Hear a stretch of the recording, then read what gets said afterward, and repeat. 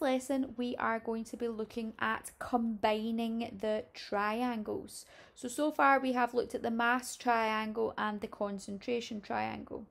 The story to help us remember this is My Nice Granny Never Cuts Violets. If you need a bit of a recap, you can look at the previous videos to show you how to do those. So in today's lesson, we are going to look at a number of past paper questions that ask us to combine the triangles. This first practice question, we are going to be looking at calculating the mass. So the question asks, calculate the mass of solute that needs to be dissolved to make the following solution. We're given 500 centimetres cubed of a 1 mole per litre potassium hydroxide and the formula is given as KOH solution. So when we're given information about both triangles, we split our page in two and we draw both triangles out. Remember, my nice granny never cuts violets. Step number one, underneath the appropriate triangle, we are going to write what the question is actually asking us to work out. In this case, it wants us to work out the mass. So underneath the mass triangle, we write M is equal to N times GFM. We look at the information that's given in the question. Have we been given the number of moles? No, we've not. Have we been given the gram formula mass? No, but we have been given a formula, which means that we can calculate the gram formula mass. How many potassiums do we have? We have 1 multiplied by the relative atomic mass, which is 39. 1 times 39 equals 39. Oxygen, how many do we have in the formula? We've got 1 multiplied by the relative atomic mass, which is 16. 1 times 16 equals 16. Hydrogen, how many do we have in the formula? We've got 1 multiplied by the relative atomic mass, which is 1. 1 times 1 equals 1. When we add those up, we get a GFM of 56 grams. We can substitute that into our formula. To complete that triangle, we would need to have the number of moles. We don't have that, so we have to use our concentration triangle to be able to calculate the number of moles. So underneath the concentration triangle, we'll write N is equal to C times V. The concentration we've been given in the question is 1 mole per litre, so we can substitute that in. The volume we've been given is 500 centimetres cubed. That's not in the appropriate unit, so we have to do a unit conversion. One litre is equal to a thousand centimetres cubed. Same unit, same side. So we pop the 500 underneath the 1000 centimetres cubed. We do a cross multiplication. 1 times 500 divided by a 1000 gives us 0.5 litres. We can substitute that in. 1 times 0.5 gives 0.5 moles. We can now take that number of moles that we've calculated and substitute it into our final equation, which means that the mass is equal to 0.5 times 56. When you put that into your calculator, you get a mass of 28 grams. Second worked example wants us to calculate the mass of solute that needs to be dissolved to make the following solution. 300 centimetres cubed of a 0.05 mole per litre sodium hydroxide solution and the formula is given as NaOH. We have to write down both triangles. Remember, my nice granny never cuts violets. What does the question want us to calculate? It wants us to calculate the mass. So underneath that triangle, we write the formula. Mass is equal to number of moles times gram formula mass. We've not been given a number of moles in the question, but we have been given a formula which will allow us to calculate the gram formula mass. How many sodiums do we have in the formula? We've got 1 multiplied by the relative atomic mass, which is 23. 1 times 23 equals 23. Oxygen, how many do we have in the formula? We've got 1 multiplied by the relative atomic mass, which is 16. 1 times 16 equals 16. Hydrogen, how many do we have in the formula? We have 1 multiplied by the relative atomic mass, which is 1. 1 times 1 equals 1. When we add those up, we get a GFM of 40 grams. we can substitute that into the formula. For us to complete that formula, we have to calculate the number of moles. This is where we have to use the other triangle. Number of moles is equal to concentration times volume. The concentration that we've been given in the question is 0.05 mole per litre. The volume we've been given is 300 centimetres cubed. That's not in the right unit, so we have to do a unit conversion. One litre is equal to 1000 centimetres cubed. Same unit, same side. We pop the 300 underneath the 1000 centimetres cubed. We do a cross multiplication. 1 times 300 divided by 1000 gives us 0.3 litres. We can substitute that in. So the number of moles is equal to 0.05 times 0.3, which equals 0.015 moles. We can substitute that into our final equation. So mass is equal to 0.015 times 40, which equals 0.6 grams. So here are two more examples for you to have a go at. Um, if you want, you can pause the video and when you're ready, the answers will pop up on the screen.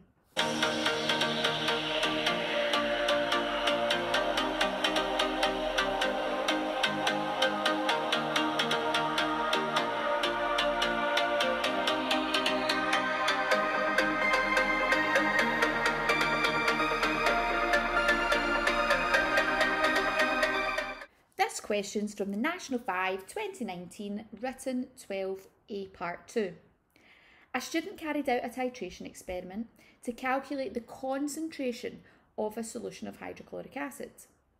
Calculate the mass in grams of sodium carbonate, the formula is given as Na2CO3, required to prepare 200 centimetres cubed of a 1 mole per litre solution. Show your working clearly. So the first thing that we have to do is we have to write down both triangles. Remember, my nice granny never cuts violets. What's the question wanting us to work out? It wants to work out the mass. So we write out the formula underneath the appropriate triangle and we write mass is equal to number of moles times gram formula mass. Have we been given the number of moles in the question? No. Have we been given a formula to calculate the gram formula mass? Yes. So the gram formula mass we have to calculate for Na2CO3. How many sodiums do we have in the formula? We've got 2 multiplied by the relative atomic mass, which is 23. 2 times 23 equals 46. Carbon, how many do we have in the formula? We have 1 multiplied by the relative atomic mass, which is 12. 1 times 12 equals 12. Oxygen, how many do you have in the formula? You've got 3 multiplied by the relative atomic mass, which is 16. 3 times 16 equals 48. When you add all of those up, you get a GFM of 106 grams. You can substitute that in to the formula. To complete that formula, we have to calculate the number of moles. Number of moles is equal to C times V. The concentration we've been given in the question is 1. The volume which we've been given in the question is 200 centimetres cubed. That's not in the, in the appropriate unit, so we have to do a unit conversion. 1 litre is equal to 1000 centimetres cubed. Same unit, same side. We pop the 200 underneath the 1000 centimetres cubed and we do our cross multiplication. 1 times 200 divided by 1000 equals 0.2 litres. We can substitute that in. So the number of moles is equal to 1 times 0.2, which equals 0.2 moles. We can substitute that into our final equation. Mass is equal to 0.2 times 106, which equals 21.2 grams. This time I'm going to go through some worked examples for us to calculate the concentration using both triangles. So the question asks us to calculate the concentration of the following solution. When we have 21 grams of potassium hydroxide, the formula is given as KOH and it is dissolved in 500 centimetres cubed of water. The first thing that we have to do is write down both triangles My nice granny never cuts violets. The question wants us to calculate the concentration. So underneath that triangle, we write C is equal to N divided by V. We've not been given the number of moles, but we have been given the volume. However, it is not in the appropriate unit, so we have to do a unit conversion. One litre is equal to 1000 centimetres cubed. Same unit, same side. We pop the 500 underneath the 1000 and we do a cross multiplication. 1 times 500 divided by 1000 gives us 0.5 litres. We can substitute that into the formula. Because we don't have the number of moles, that means we have to calculate the number of moles of the other triangle. Number of moles is equal to mass divided by GFM. The mass we've been given in the question is 21 grams. We have got a formula in the question which allows us to calculate the gram formula mass. How many potassiums have we got? We've got 1 multiplied by the relative atomic mass, which is 39. 1 times 39 equals 39. Oxygen, how many do we have? We have 1 multiplied by the relative atomic mass, which is 16. 1 times 16 equals 16. Hydrogen, we have 1 multiplied by the relative atomic mass, which is 1. 1 times 1 equals 1. When we add those up, we get a GFM of 56. We can substitute that in. So the number of moles is equal to 21 divided by 56, which gives us 0.375 moles. We pop that into our final equation. So the concentration is equal to 0.375 divided by 0.5, which would give us a concentration of 1.33 moles per litre. This question wants us to calculate the concentration of the following solution. We have 4 grams of sodium hydroxide. The formula is given as NaOH and it's dissolved in 300 centimetres cubed of water. We have to do our preparation. My nice granny never cuts violets. The question wants us to calculate the concentration. So underneath the concentration triangle, we write C is equal to N divided by V. We've not been given the number of moles, but we have been given 300 centimetres cubed. That volume is not in the appropriate unit, so we have to do a unit conversion. One litre is equal to 1000 centimetres cubed. Same unit, same side we pop the 300 directly underneath the 1000 centimetres cubed. We do our cross multiplication. 1 times 300 divided by 1000 gives us 0.3 litres. We can substitute that in. We need to calculate the number of moles of the other triangle. Number of moles is equal to mass divided by GFM. The mass we've been given in the question is 4 grams, the gram formula mass, well, we've been given a formula which will allow us to calculate the gram formula mass. Sodium, how many do we have in the formula? We have 1 multiplied by the relative atomic mass, which is 23. 1 times 23 equals 23. Oxygen, how many do we have? We have 1 multiplied by the relative atomic mass, which is 16. 1 times 16 equals 16. Hydrogen, how many do we have in the formula? We have 1 multiplied by the relative atomic mass, which is 1. 1 times 1 equals 1. When we add those up, we get a GFM of 40 grams. We can substitute that in. Number of moles is equal to 4 divided by 40, which gives us 0.1. Substitute that into our final equation. Concentration is equal to 0.1 moles divided by 0.3 litres, which gives us a concentration of 0.33 moles per litre. Again, here are two examples for you to have a go at. So if you want to pause the video and when you are ready, you can press resume and the answers will pop up on the screen.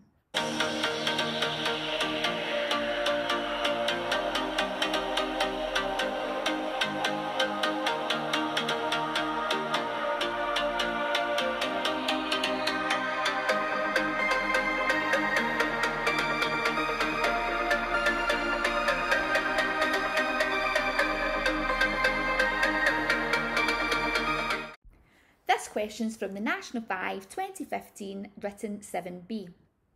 the student found that a 100 centimetres cubed solution contained 3.19 grams of copper 2 sulphate and the formula is given as CuSO4. Calculate the concentration of the solution in moles per litre. Show your working clearly. The first thing that we have to do is draw out both triangles. Remember, my nice granny never cuts violets. The question wants us to calculate the concentration, so we'll write C is equal to N divided by V. We've not been given the number of moles in the question, but we have been given a volume. The volume in the question is 100 centimetres cubed. It's not in the appropriate unit, which means we have to do a unit conversion. One litre is equal to 1000 centimetres cubed. Same unit, same side. We pop the 100 underneath the 1000. We do our cross multiplication. 1 times 100 divided by 1000 gives us 0.1 litres. We have to calculate the number of moles of the other triangle. Number of moles is equal to mass divided by GFM. The mass we've been given in the question as 3.19. The gram formula mass we have to calculate, but we've been given a formula to be able to do that. Copper, how many do we have in the formula? We have 1 multiplied by the relative atomic mass, which is 63.5. 1 times 63.5 equals 63.5. Sulfur, how many do we have in the formula? We have 1 multiplied by the relative atomic mass, which is 32. 1 times 32 equals 32. Oxygen, how many do we have in the formula? We have 4 multiplied by the relative atomic mass, which is 16. 4 times 16 equals 64. When we add those up, we get a GFM of 159.5. We substitute that into our formula. So number of moles is equal to 3.19 grams divided by 159.5, which gives us 0.02 moles. We can substitute that into our final calculation. So concentration is equal to 0.02 divided by 0.1, which gives us a concentration of 0.2 moles per litre.